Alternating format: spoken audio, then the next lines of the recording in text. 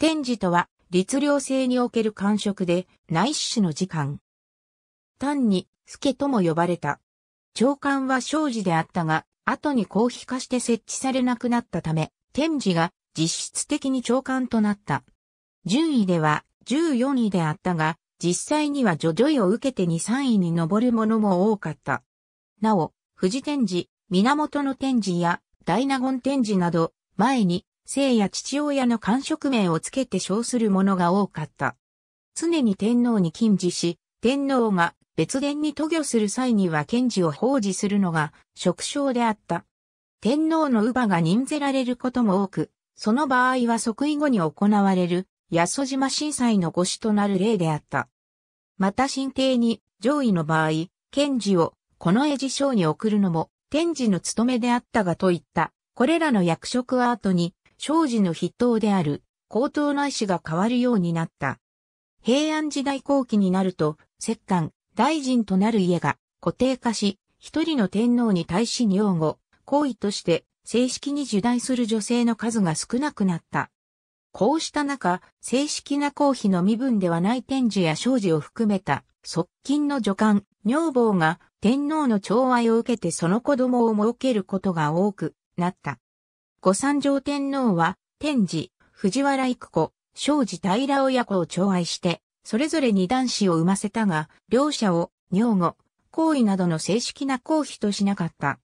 白河天皇においても、この上なく、愛した中宮の里子の死後、もっぱら川近くに使える女房を寵愛して、正式な日の地位を与えることはなかった。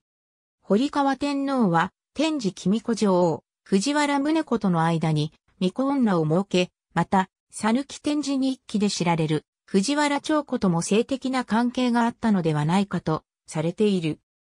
こうした側近の女官、女房から生まれた巫女の多くは幼くして出家したが、二条天皇と代理女房の生き地縁女の間に生まれた六条天皇が即位したのを、はじめ、正式な皇妃に巫女がない場合や政治情勢により、天皇となることもあった。高倉天皇と天智、藤原職種との間に生まれた後鳥羽天皇の即位により、聖母職種は女院となっている。鎌倉時代になると、天皇の乳母であったために任じられた女性の他は、天智はほとんど天皇の最小となった。南北朝時代から安土桃山時代になると、天智や生児になる女性が特定の公家出身者に固定化される一方、財政上の理由や石棺の地位が持ち回りとなって外籍関係の有無によってその地位が影響されることがなくなったために石家が自分の娘を立候することに消極的になったことから天皇の聖杯及び同様の地位となった生児が建てられることがほとんどなくなった。このため天皇に一番近くにいる女性となった天智や生児が天皇の子供を設け、その子供が天皇となることが珍しくなくなった。なお、小奈良天皇から御用税天皇まで4世代連続で、過重寺流出身の天智を聖母としていることから、戦国時代には、過重寺までの工事両家は娘を天智として、代々の天皇の外籍となる家系であったとする説も存在している。江戸時代末期には宮中における高級女官の最上位であった。その展示の中でも最上位に位置し、助官を統括する者は大展示と称し、高等内史と並んで五章常御殿の事務所寺一切を掌握した。展示は天皇の日常生活における秘書的役割を務める者と天皇の寵愛を受け巫女女を生む役割を持つ者がいた。安土桃山時代にこの絵先子が御用勢天皇の女御となり、以後天皇の聖杯である女御の受代が再開されたが、女御は基本的に一人であり、側室の役割は主に天智が担った。そのため、江戸時代に即位した天皇の聖母のほとんどは天智である。女御、中宮のとなるのが、設計、三宅の女子であったように、女官も出身の一定の価格が決められており、天智は、ウリン家、名家の中で上位の価格を持つ公家の女子がなった。聖家や大臣家は、石家よりも、海、ウリン家、名家よりも上位に当たるが、この価格は、女後も天智も出さなかった。なお、天智の定員は4名とされていたが、江戸時代後期において、実際にはそれより多い場合があった。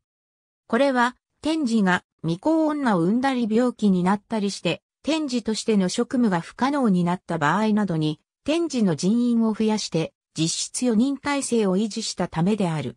また、高等商事の地位にあった者が高齢、または引退、死去に、先だって定員外の天智に名誉的に昇進する例もあった。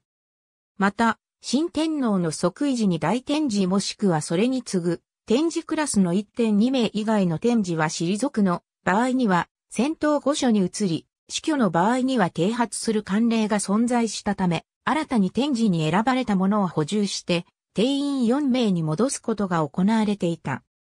幕末まで、公家の子女によって占有され、天皇に禁じすることで宮廷で絶大な権勢を誇るようになっていた天智をはじめとする女官であるが、明治新政府によって大改革が行われた。まず、公明天皇の天智として、宮中で1、2の権力を誇っていた天智の広橋静子と高野房子を、その権勢自ら高級を圧し、皇后の伊宗といえども行わざることを王ありとして、罷免した。次に、天皇の下に置かれていた、天智以下すべての女官を、皇后のもとに統一して移し、武家、家族の子女からも採用されるようになった。さらに公費及び助官の官職が整理され、再び天智の上に生児が置かれたが、実質的に欠員のままであった。天智はすべて天智か県天智とされ、大天智や高等内史の職は廃された。また、明治時代、天智や生児には二文字の植物の公名とされた。例えば、柳原愛子は沢原美天智、その証拠は小菊天智といった。採用基準は江戸末期までの身分制度に大きく依存し、大正初期の宮城助官採用内期には、天智、県天智などの宮中上級助官の採用には、弓道上級諸公家族子女のうちより、選抜とあり、家族であっても、明治維新前の公家や、大名家から選ぶことになっていた。明治期における天智の俸給は250円、県天智は200円であった。明治時代、明治天皇と皇后義子との間に子女が生まれなかったこともあり、数人の天智、県天智が側室の役割を持った。天皇の聖母となった最後の天智は、大正天皇の母、柳原愛子である。なお、皇后の行慶の具部などの公式の場に出られるのは、沖世の天智、県天智だけであった。また、栄章皇太后の青山御所に仕える天智も、沖世であった。宮城助官宝飾心得書には、大正期までの天智及び、県天智の職務が規定されている。それによると、天智、県天智の職務は、などとされている。大正天皇が一切一夫制を実施したため、侍目掛けの役割を持つ天智はなくなった。しかし、事務所官としての天智は存在し、最後の天智となったのは、大正15年6月に天智に承認した竹谷常子である。天智、竹谷常子、県天智、清水谷栄子を頂点とした大正天皇時代の助官は天皇の崩御により皇后宮職の助官から皇太后宮職の助官となった。大正末期、当時の皇太子広人親王は助官制度の改革を進めた。天智、県天智などを廃して、助官庁を頂点とする、東宮職助官制は、広人親王が天皇に即位し、そのまま皇后宮職の助官制へと移行した。これによって、天智などの職制は、帝名皇后の皇太后宮職にのみ存続された。